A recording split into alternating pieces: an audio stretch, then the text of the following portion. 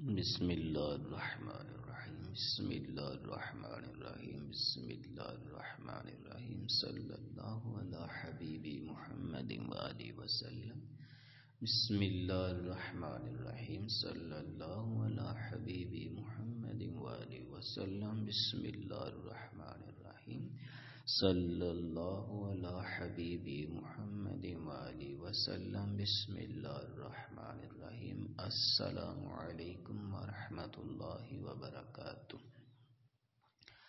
अल्हम्दुलिल्लाहि रब्बिल आलमीन अल्लाह सुब्हानहु व तआला का बेहद करम बेहद फजल बेहद शुक्र जिन्होंने मौका और तौफीक अता फरमाई, ज़िंदगी की बेशुमार नेमतें अता फरमाई।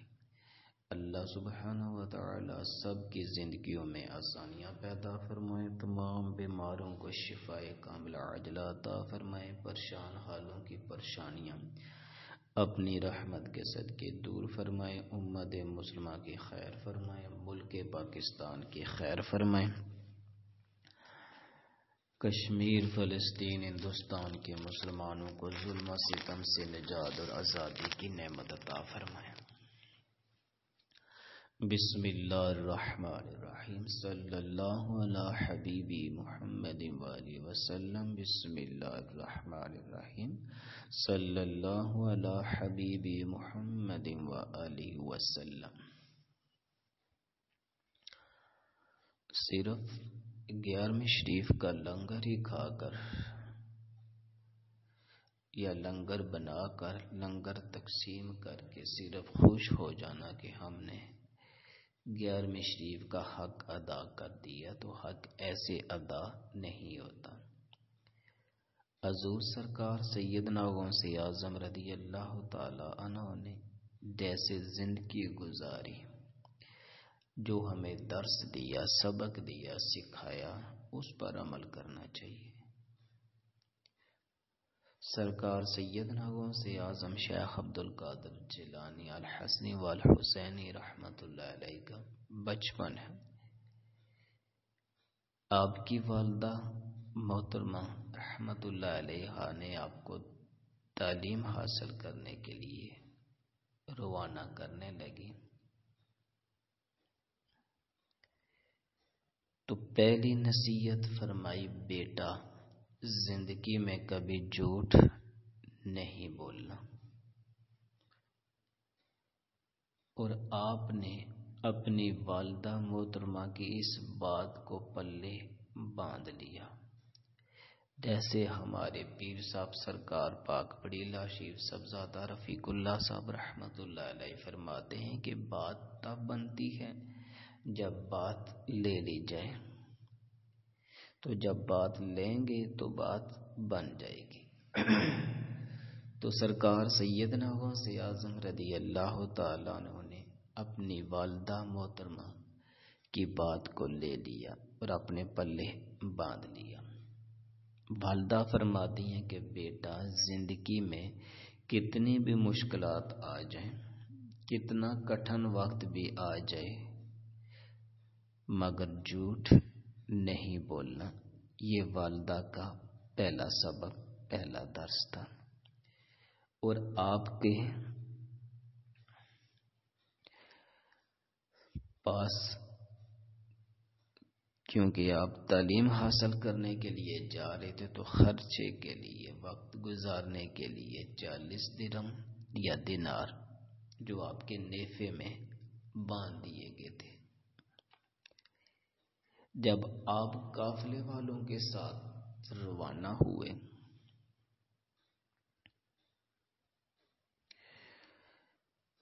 तो रास्ते में जब काफला पहुँचा तो डाकुओं ने काफले वालों को घेर दिया और लूट लिया। और जब आपके पास पहुँचे पूछने लगे डाकुओं के साथी जो थे कि आपके पास भी कुछ है बेटा? आप रहमतुल्लाह का बचपना है।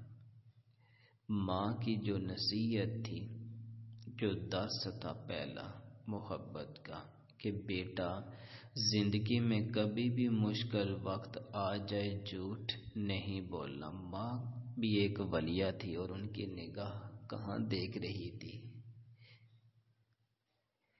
तो आप रहमतुल्लाह ने फरमाया हाँ मेरे पास भी पैसे हैं। जब उन्होंने हर तरह से तलाशी ली तो उन्हें कहीं से भी नज़र नहीं आए, नहीं मिले। अपने सरदार के पास पहुँचे कि ये बच्चा कह रहा है कि मेरे पास पैसे हैं, मगर हमने तलाश किए हमें नहीं मिले। वो डाकू का सरदार कहने लगा ए बेटे, पैसे तो हर तरफ़ से तलाश किए नहीं मिले। अग, पैसे कहाँ हैं तो आपने बताया ये मेरे नेफे में है। जहाँ वालदा मोहतरमा ने सी कर रखे थे। तो डाकुओं का सरदार कहने लगा, ये तो मेरे साथियों ने तलाश किए थे, नहीं मिले। अगर आप ना बताते तो हमें तो नहीं पता चलता। और आपके पैसे बच जाते हैं। आप रहमतुल्लाह का बचपना है, तकरीबन चार साल। या इससे कुछ अब आपकी उम्र मुबारक थी। आप रहमतुल्लाह ने फरमाया, अब वालदा की निगाह यहाँ पर थी।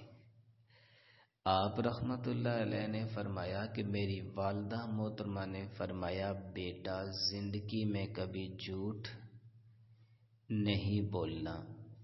कितने ही मुश्किल, कठिन वक्त भी आ जाए, झूठ नहीं बोलना।